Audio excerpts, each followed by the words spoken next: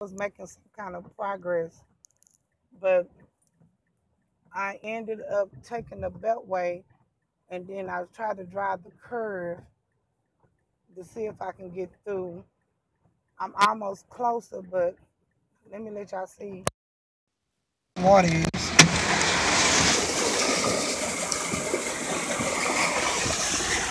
You can hear it. I'm trying to stay close to the curb.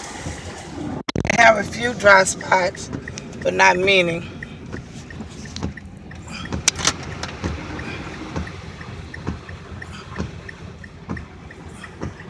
Some parts make me feel like I can almost make it. I'm just praying and going. I'm trying to keep up with some of the cars in front of me.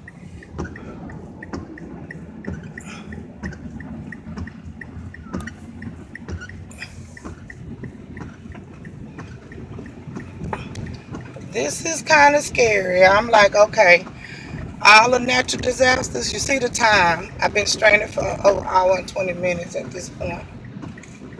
I really had a frantic moment. Then it's so dark out.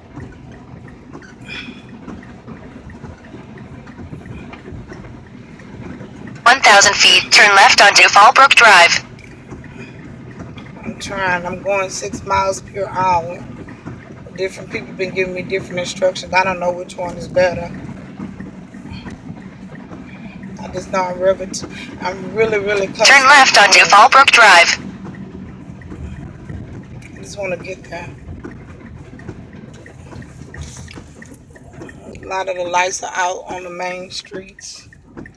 Cars going down. Continue on Fallbrook Drive for three quarters of a mile.